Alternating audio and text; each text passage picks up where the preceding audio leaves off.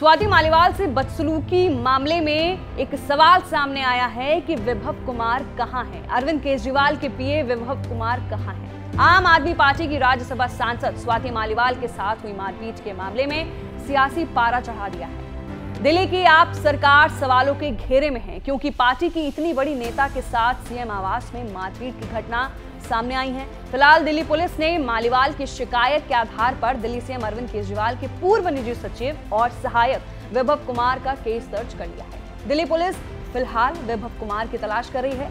Delhi police की team ने गुरुवार रात विभव कुमार के घर पर उसे हिरासत में लेने के लिए पहुँची। इस दौरान वो घर पर नहीं मिला, लेकिन उसकी पत्नी वहाँ ज़रूर मौजूद थी। उससे विभव कुमार की लोकेशन को लेकर सवाल जवाब किया गया। पुलिस की टीम और क्राइम ब्रांच पूरे मामले की जाँच कर रही है। पुलिस की चार टीमों को ज़िम्मेदारी दी गई है कि वो जल्द से जल्द विभव कुमार की लोकेशन का पता लगाए।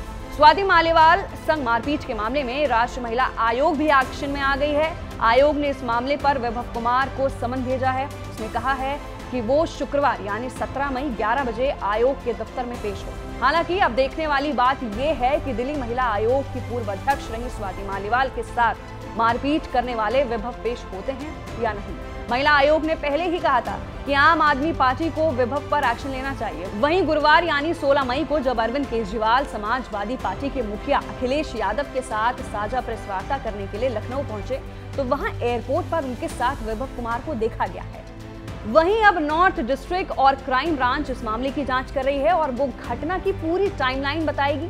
पुलिस की टीम उस दिन का पूरा सीक्वेंस बनाएगी। सीक्वेंस के हिसाब से पुलिस सीसीटीवी तलाशने की कोशिश करेगी। केजरीवाल के घर के बाहर ही आठ सीसीटीवी कैमरे लगे हैं। पुलिस जानने की कोशिश करेगी कि 13 मई को स्वाति मालीवाल कितने बजे सीएम हाउस पहुँची थी। सीएम हाउस के गेट पर उन्हें कौन कौन मिला?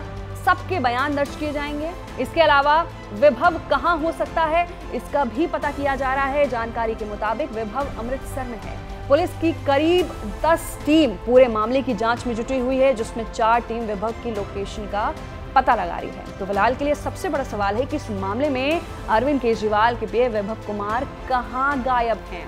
आपको इस सवाल पर क्या लगता है? नीचे दिए गए कमेंट बॉक्स में अपनी राय ज़रूर दें और देखते रहिए एबीपी लाइव